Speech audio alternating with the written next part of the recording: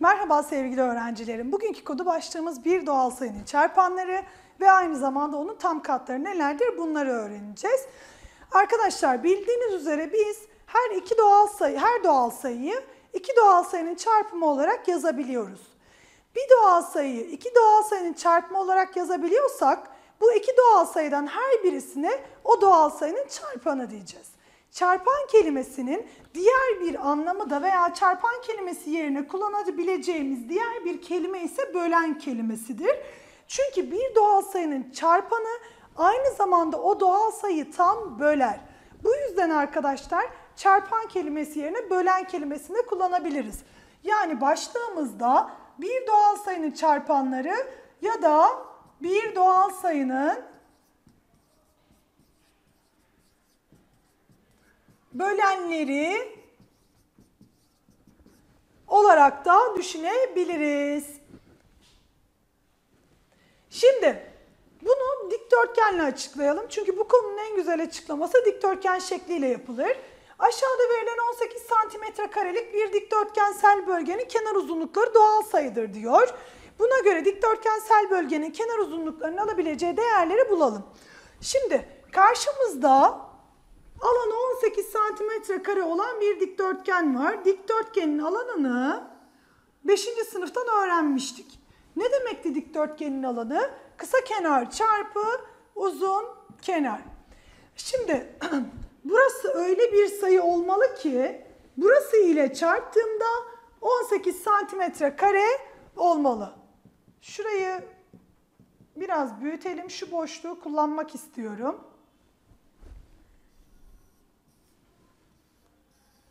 Alanımız 18 santimetre kare. Şimdi arkadaşlar sayının altına iki tane kol çizdim. 18'in çarpanlarını düşünüyorum ya da kısa kenar, uzun kenar olarak düşünelim. Şimdi 18 santimetre karelik bir dikdörtgenim var. Kısa kenarı 1 santimetre olsa uzun kenarı ne olacak? 1 ile hangi doğal sayıyı çarparsam 18 elde ederim? 18. Sıradaki doğal sayım 2. Bu sefer diyorum ki kısa kenarım 2 olsun. Kısa kenarım 2 ise uzun kenarım ne olabilir diye düşünüyorum. 2 ile hangi doğal sayıyı çarparsam 18 elde ederim? 9. Sıradaki doğal sayım 3. Bakalım 18 3'ün bir katı mı? Kısa kenarım 3 olsun. 3 ile kimi çarparsam 18 olur? 6. Devam ettiğimizi düşünelim arkadaşlar. 4 E, koysam Buraya 4 yazdığımda yani kısa kenarım 4 olduğunda 4 ile herhangi bir şeyi çarptığımda 18 sayısını elde edemiyorum. Dolayısıyla 4 olmuyor. 5'i düşünsek e, 18 5'in katı da değil o yüzden 5'i de alamam. Dikkat ederseniz buradan 6'ya dönüyor. Şimdi şöyle bakın. Demek ki 18'in çarpanları neler olabilirmiş? 1, 2, 3, 6, 9, 18. Böyle bir şeyde bir sayılar birbirine yaklaştığı an onun devamı olmaz diye düşünebilirsiniz. O halde 18 sayısının çarpanlarını şöyle yan yana bir yazalım. 1, 2, 3, 6, 9 ve 18. Şimdi burada şuna da dikkat etmenizi istiyorum. Ekstra buraya tekrardan geri döneceğim. Şimdi arkadaşlar bulduğum bu çarpanların aynı zamanda bölen olduğunu gösterelim size. Mesela bir doğal sayısı 18'i ne yapacak? Tam bölecek. 18 olacak. İki doğal sayısı, ikinci çarpanıma baktım. İki doğal sayısı 18'i ne yapacak? Tam bölecek. Sonucum 9 olacak. Üçüncü çarpanıma bakıyorum. 3. 18'i 3'e böldüğümüz zaman 6 sonucunu elde edeceğiz. Devam ettiğimde 3'ün 4. çarpanım 6. 18 6'ya böldüğümde 3 sonucunu elde ediyoruz. Bir sonraki çarpanımız 9. 18'i 9'a böldüğümüzde 2'yi elde ediyoruz. Son çarpanım 18'dir. Bu da nedir arkadaşlar? 1. Dolayısıyla çarpanların aynı zamanda böleni olduğunda burada söylemiş olduk. Zaten konu anlatım kısmında yazıyordu. Şimdi Burada yazdığım çarpanlarla alakalı size bir iki küçük şey yazdıralım. Şöyle not diyelim. Bir doğal sayının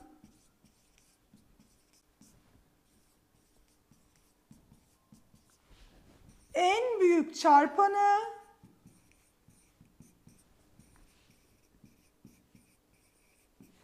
kendisidir. En küçük çarpanı ise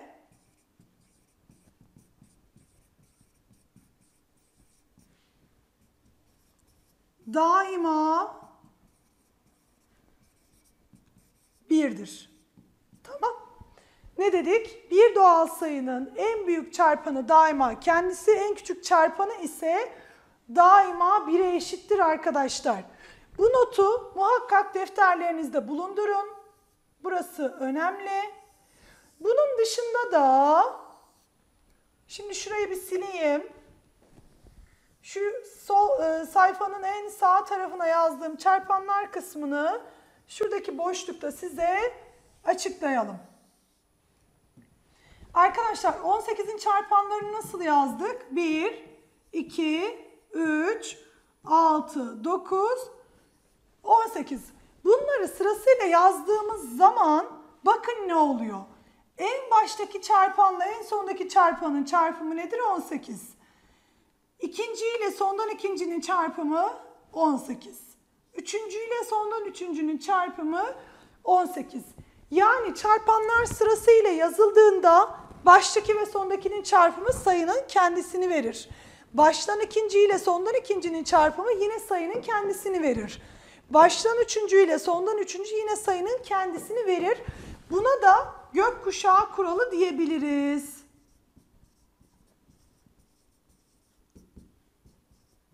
Bu kuralı biz isimlendirdik.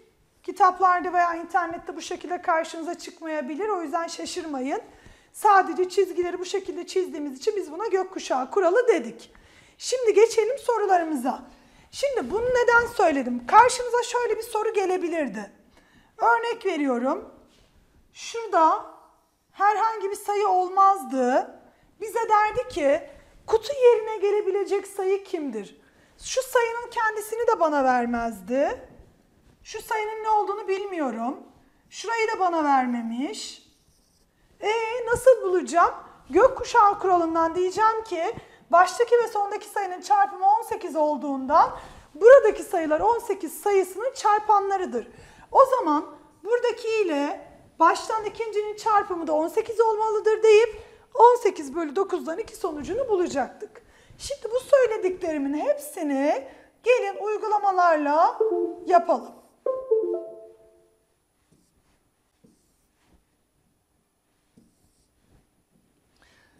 Şimdi 20 sayısının hangi doğal sayıların çarpımı şeklinde yazılabileceğini bulalım. Bunun için ne demiştim? Öncelikle 20 sayısının altına iki tane kol çiziyorum. Önce 20'yi 1'e böldüğümde ne elde ederim? 20. Bakın burada da görüldü. 20 sayısının en büyük çarpanı kendisi, en küçük çarpanı 1. Peki 20 sayısının ikinci çarpanına bakıyorum. 20'yi 2'ye böldüğümde ne elde ediyorum arkadaşlar? 10. 20'yi 3'e bölemiyorum. 3'e bölünmez o yüzden 3'e almıyoruz. 20'yi 4'e bölüyorum arkadaşlar. 5. Bakın en sonda bulduğum sayılar ardışık sayılar. Birbirine çok yakın o yüzden daha fazla devamını getirmiyorum. Ki şayet getirirseniz buranın tekrar ettiğini göreceksiniz. 4, 5, 4 olacak. 10, 2 olacak. 20, 1 olacak. Tekrar yazıp vakit kaybı yaşamaya hiç gerek yok. Demek ki 20 doğal sayısının çarpanları nelermiş arkadaşlar? 1, 2, 4, 5, 10 ve 20. Evet geçelim ikinci sorumuza. 32 doğal sayısının hangi doğal sayıların çarpımı şeklinde yazıldığını bulmam lazım. Yine aynı şekilde gidiyorum. Bakın 32'yi yazdım. İki tane kolumu çizdim. 32'yi 1'e böldüm 32. 32'yi 2'ye böldüm 16. 3'e bölünmüyor. 4'e böldüm 8. Devamını düşünüyorum. 32 5'e bölünmüyor. 6'ya bölünmüyor. 7'ye bölünmüyor. Sonra 8'e bölünüyor. Yani tekrar ediyor. Daha da devamını yazmaya gerek yok. Demek ki 32 doğal sayısı 1, 2, 4, 8, 16 ve 32 sayılarının çarpımı ile elde edilebilir. Ya da burayı böyle de bırakabilirdiniz. 1 çarpı 32 32, 2 çarpı 16 32, 4 çarpı 8 32 şeklinde. Burada üçüncü soru sizin ödeviniz. Bunu bir güzel deneyin lütfen. Devam edecek olursak 60 sayısını bölenleri diyor. E bölen ne demekti? Çarpan demekti. O zaman ne yapıyorum? Yukarıda yaptığım şeylerin aynısını yapabilirim. 60 sayısına bakıyorum arkadaşlar. 60'ı 1'e böldüm. 60 yani 1 ile 60'ın çarpımı 60'ı verir. 2'ye böldüm 30. Yani 2 ile 30'un çarpımı 60'ı verir. 3'e böldük arkadaşlar 20. 4'e böldük. Sayfaya yazamıyorum. Şöyle yan taraftan devam edeyim. 4'e böldük. Ne oldu arkadaşlar? 15. 5'e böldük ne oldu? 12. Sonra 6'ya da bölünüyor bu. 6'ya böldüm 10. Sonra 11'e bölünmüyor. Ama bakıyorum 10'a bölünüyor. Tekrar etmiş oluyor. Halde yazmaya gerek yok. Ne diyoruz? 60 sayısının bölenleri 1, 2, 3, 4, 5, 6, Devam edecek olursam 10. Bakın sırasıyla küçükten büyüğe doğru yazıyorum. 12, 15, 20, sığdıramadık. 30, 60. İşte bu kadar. Pekala. Bir sonraki sayfamıza geçiyoruz. Bu sayfada ne var? Hemen bir bakalım.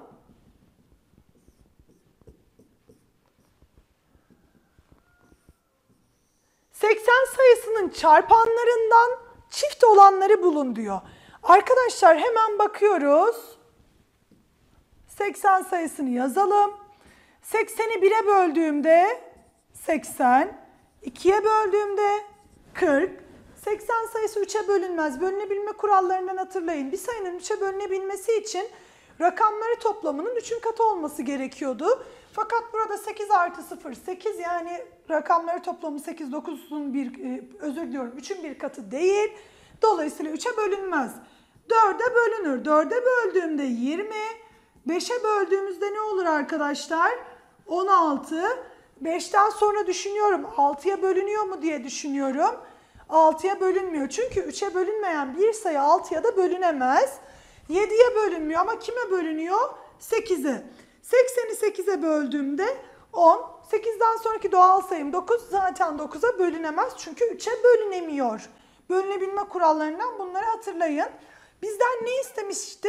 Çift olanları istemişti. Bakın çift olanlar 2, 4, 8, 10, 16, 20, 40, 80. Bunların her birisi çift sayıdır.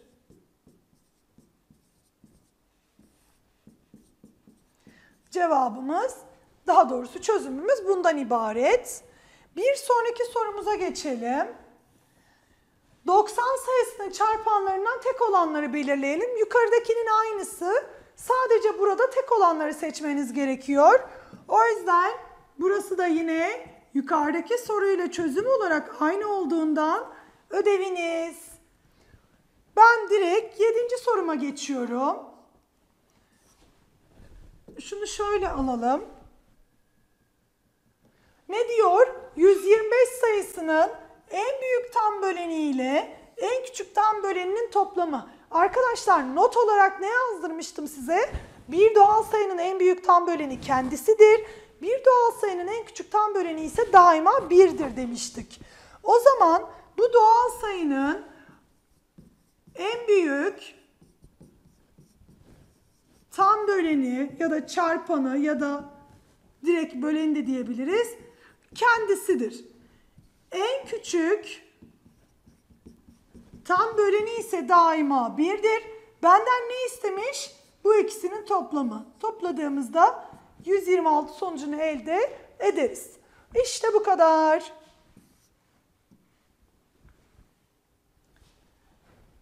Yazmış mıydınız? Şöyle tekrardan bir açayım. Hızlı geçtim zannediyorum. Gelelim bir sonrakine şimdi. Ne diyor bize bu soruda? 72 sayısının çift tam bölenlerinin toplamının tek tam bölenlerin toplamından ne kadar fazla olduğunu bulalım diyor. O zaman hemen 72 sayısını bölenlerine bakıyoruz. 72'yi 1'e böldük. 72. 2'ye böldük. 36. 3'e böldüğümüz zaman ne olur? 24. 4'e böldüğümüz zaman hemen zihinden düşünelim. 2'ye böldüğümüzde 36 ise 36'yı 2'ye bölmek demek 72'yi 4'e bölmek demektir arkadaşlar. Yani 18. 72'nin son basamağı 0 ya da 5 olmadığından dolayı bu sayı 5'e bölünemez. O yüzden 5'i hiç incelemiyoruz. 6'ya bakıyoruz arkadaşlar. 6'ya böldüm. 12. 72 7'ye bölünmez. Sonra kime bölünür? 8'e. 8'e bölündüğünde de 9. Sayılar birbirine çok yakın. Artık burada durdum. Şimdi arkadaşlar çift tam bölenleri diyor. Çiftleri kırmızıyla gösteriyorum. Tamam mı? Kimdir çiftlerim? 2, 4, 6, 8, 12, 18, 24, 36, 72. Hadi çiftleri hemen toplayalım. 72 artı 36 artı 24 artı 18 artı 12 şöyle aşağıdan devam edeyim. Artı 8 artı 6 artı 4 artı 2 hemen zihinden toplama işlemi yapalım. 72 ile 8'i toplarsak 80 80'i şöyle bir köşeye yazalım. Sonra şuraya dikkat edin. 36 ile 24'ün toplamı da ne yapacak arkadaşlar 60 12 ile 18'in toplamı 30. Şurada 10 var. 40. Bir de bu var. 42. Ne oldu arkadaşlar bunun toplam sonucu? 182. Şimdi gelelim teklere. Teklerim ne, neler? Onlara bakalım. Tekleri de mavi ile gösteriyorum. 1 var, 3 var, bir de ne var? 9. Şimdi teklerimizi toplayalım. 1, 3, 9. Buradan da 13 sonucunu elde ederiz. Şimdi bu ikisinin farkını benden istiyordu. Çiftler ile teklerin farkı. Bu da nedir? 182'den 13'ü çıkar demektir. 182'den 12'yi çıkardığımda 170 kalır. Bir daha çıkardığımda kısa yoldan düşündüğümde 169 sonucunu elde ediyoruz. İşte bu kadar arkadaşlar. Evet. Yazım bakalım. Umarım anlaşılmıştır.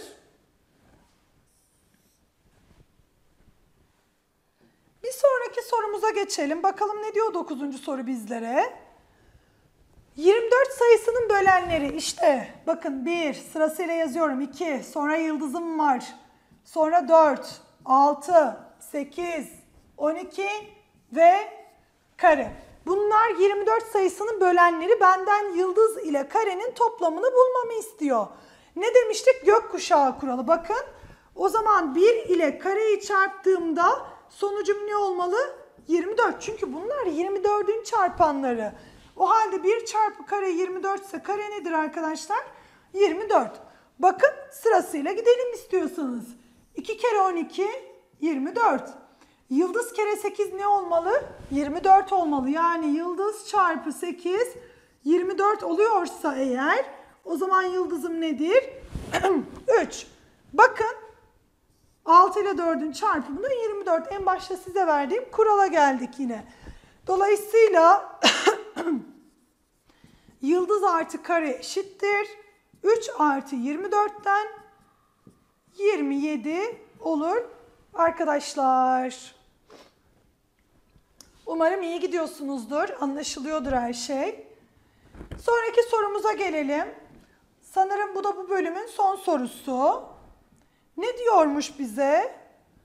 30'un tam bölenlerinin sayısı kare, 45'in tam bölenlerinin sayısı üçgen olduğuna göre kare ile üçgenin toplamı. Hadi 30'un tam bölenlerini bulalım. Sonra 45'in tam bölenlerini bulalım. 30'a bakıyorum. 1'e böldüm. 30. 2'ye böldüğümde 15. 3'e böldüğümde 10.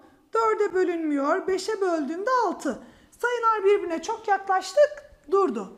O zaman burada kaç tane bölenimiz var? Bakalım hemen 30'un bölenlerini. 1, 2, 3, 5, 6, 10, 15, 30 olmak üzere 1, 2, 3, 4, 5, 6, 7, 8 tane bölenim var. Peki 45'e gelelim. 45'i 1'e böldüm 45. 2'ye bölünmüyor 3'e böldüm 15.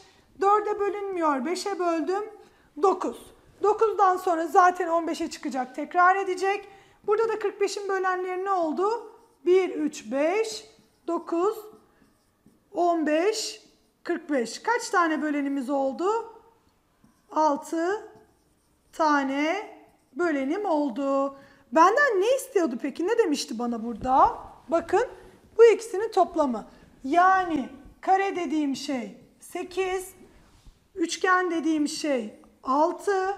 O zaman kare artı üçgende nedir? 8 artı 6'dan 14 tür. İşte bu kadar. Çocuklar burada size bir tane sayının örneğini vermek istiyorum. Genelde karıştırılıyor. Hani şimdi burada tam bölenlerinin sayısı demişken mesela ee, şurayı sildim ama videoda zaten çözümü göreceksiniz. Şöyle bir çizelim şurayı, ayıralım sayfayı. Mesela 36 sayısının tam bölenlerine bakalım. Genelde bu karıştırılır. Niçin karıştırıldığını şimdi aktaracağım sizlere. 36'yı arkadaşlar 1'e böldüğümde 36. 2'ye böldüğümde 18. Sığdıramayacağım yana geçiyorum. 3'e böldüğümüzde arkadaşlar 12. 4'e böldüğümüzde 9. 6'ya böldüğümüzde 6. Şimdi genelde öğrenciler buna bakarken şunu söylüyorlar. Hocam 36'nın 10 tane böleni var. Yanlış. 9 tane böleni var. Çünkü 36'nın bölenlerini yan yana yazdığınızda bakın 1, 2, 3, 4, 6. Aynı sayı iki kere tekrar etmez. Yani buraya 6'yı bir kere yazdım. İkinci kez 6'yı yazmama gerek yok. Sonra ne gelecek? 9. Sonra 12, 18, 36. Ha diyeceksiniz ki gökkuşağı kuralında 6 ortada tek başına kalıyor. Öyle görünüyor olabilir ama öyle değil. Bakın 1 ile 36'yı çarptım 36. 2 ile 18'i çarptık. 3 ile 12'yi, 4 ile 9'u. 6'dan bir tane olması demek aslında 6'nın kendisiyle çarpılması manasına geliyor arkadaşlar. Buna dikkat edelim lütfen sorularda. Şimdi gelelim nereye? Bir doğal sayının tam katlarına. E bölenleri yani çarpanlarını bu, bulabiliyorsak tam katlarını da bulabiliriz. Arkadaşlar tam katlar konusu daha rahattır. Şurayı bir büyütelim.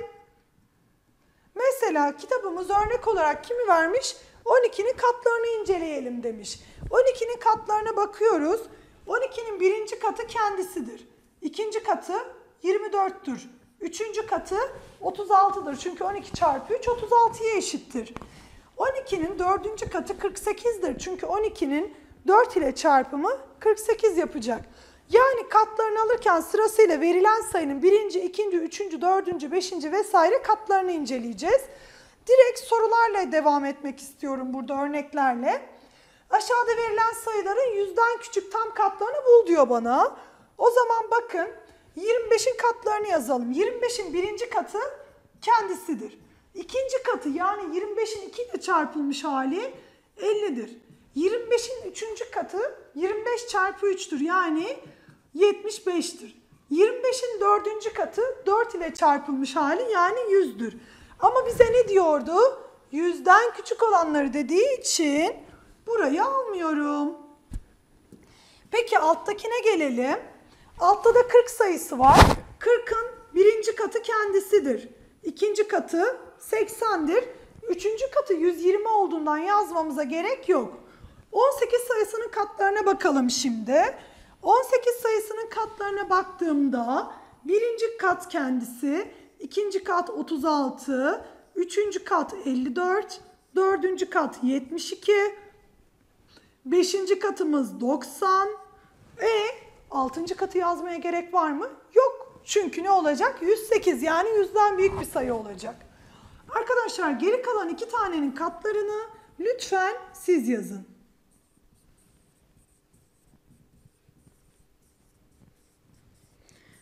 Gelelim ikinci uygulamamıza. 89'dan küçük.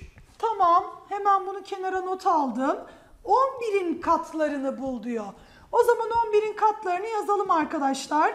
11, ikinci katı 22, üçüncü katı 33, dördüncü katı 44, beşinci katı 55, altıncı katı 66, 77, 88.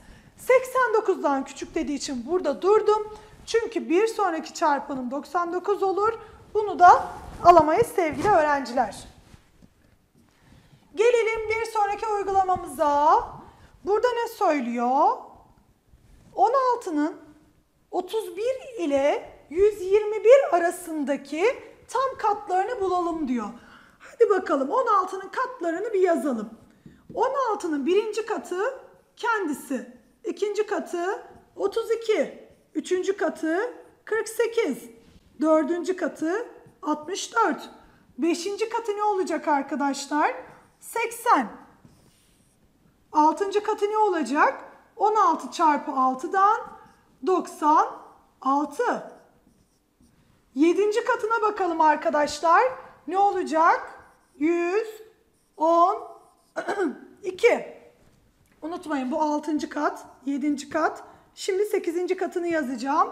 Ne olacak 8. katım? 128. Aa benden istenileni geçtim. Değil mi? Çünkü benden 121 diyordu. Şimdi kimle kimin arasında dediğini hatırlayalım. 31 ile 121 yani 31'den büyük 121'den küçük olanlar. Burada kimler 31'den büyük? Bakın devam ediyorum. 121'den küçük olanların hepsini alıyorum. Bunu alamıyorum. Niye alamadım? Çünkü 121'den büyük. O zaman kimmiş benim aradığım sayılar? Yuvarlak içerisine aldığım sayılarmış bizim aradığımız sayılar. Devam edelim dördüncü uygulamamızla. Bir sonraki sayfaya geçtik.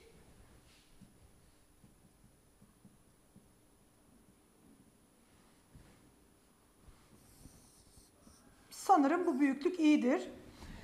Beşinci sorumuzda ne diyor? 18'in 60 ile 145 arasındaki tam katlarından en büyüğü ile en küçüğünün toplamını bul diyor.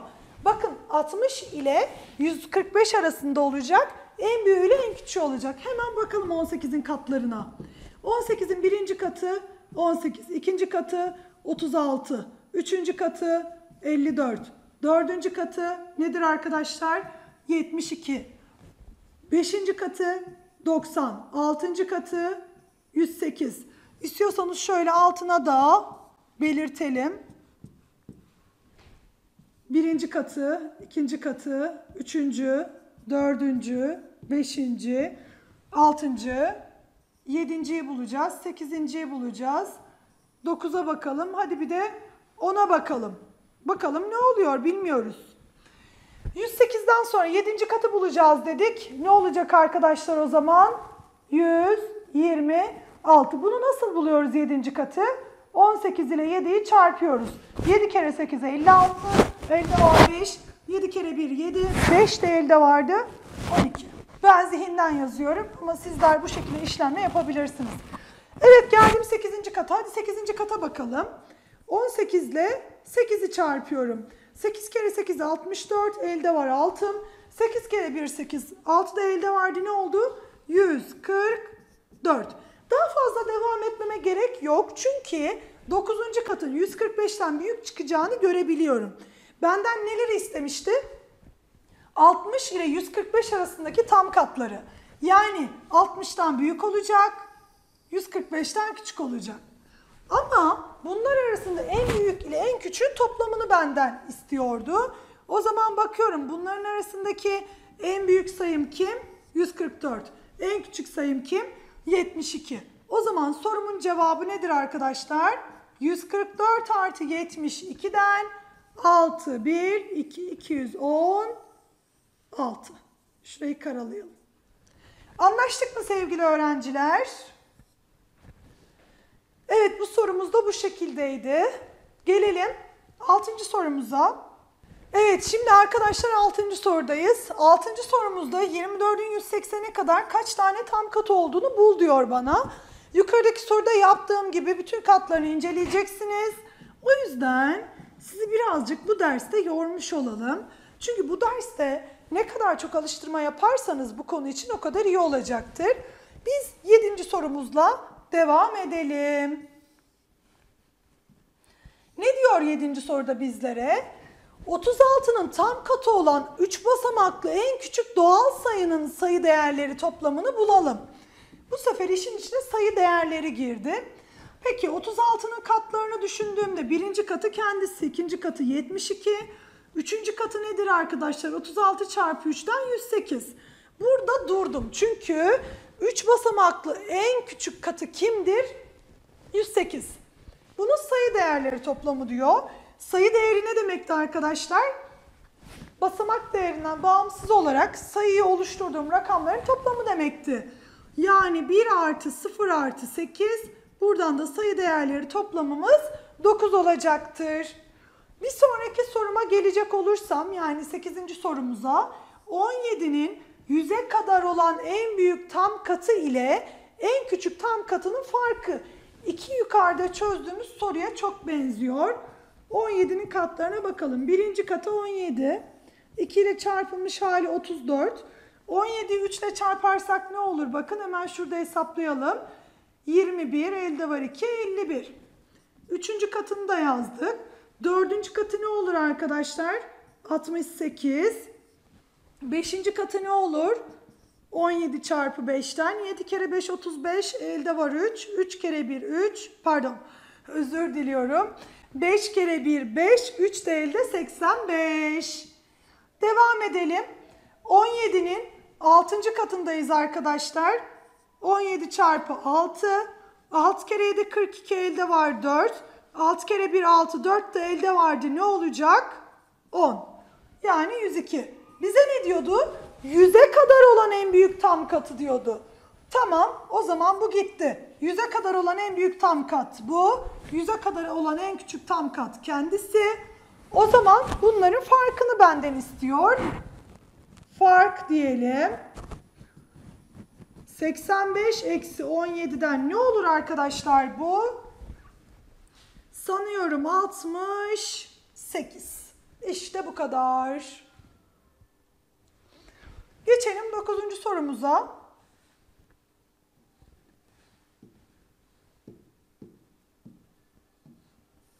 Ve sanıyorum konumuzun da son sorusu.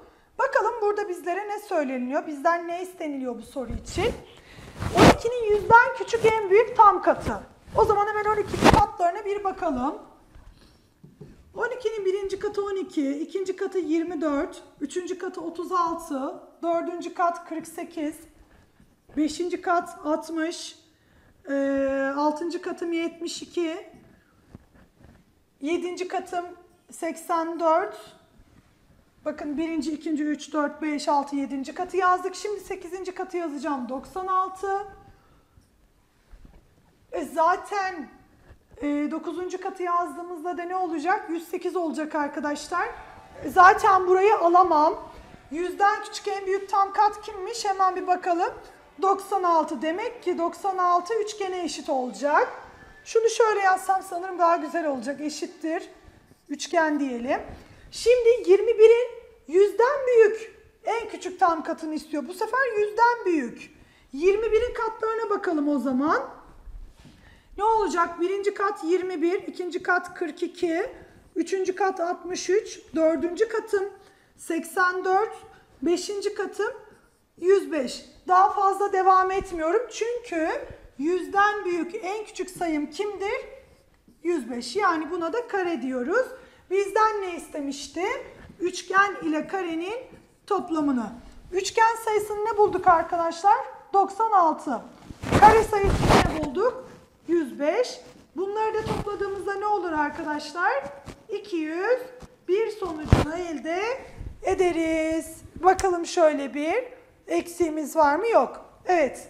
Bugünlük bizden bu kadar. Bir konunun daha bir dersin daha sonuna gelmiş bulunduk.